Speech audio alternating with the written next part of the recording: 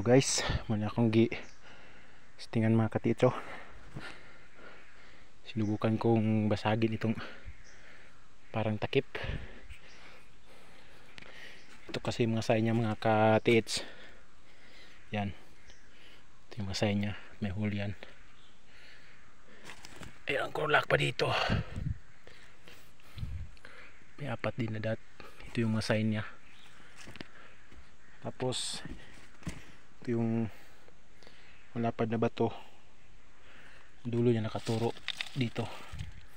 Sinubukan ko itong hukayin. Wala naman akong kitang kakaiba. Ito lang. Yan. Ito maliit pa to dati mga katiits. Ganyan lang yan. Yan yung butas niya. Ako na nagbutas dito. Yan. Ito yung sinubukan kong basagin kasi ito kasi yung sign. Yan. Parang may letter D siya. Katuro siya dito.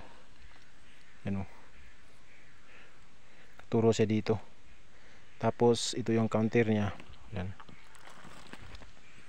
Parang napap, napapagitnaan tong isa to tong butas nito yan. Uh, para lang kasi ang takip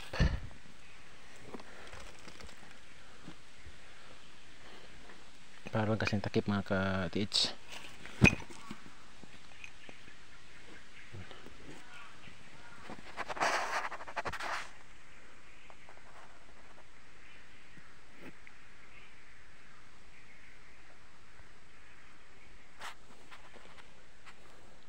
Sige, hanggang dito lang muna mga ka-TH. Abangan nyo lang kung papakita ko sa inyo kung mabubutas to.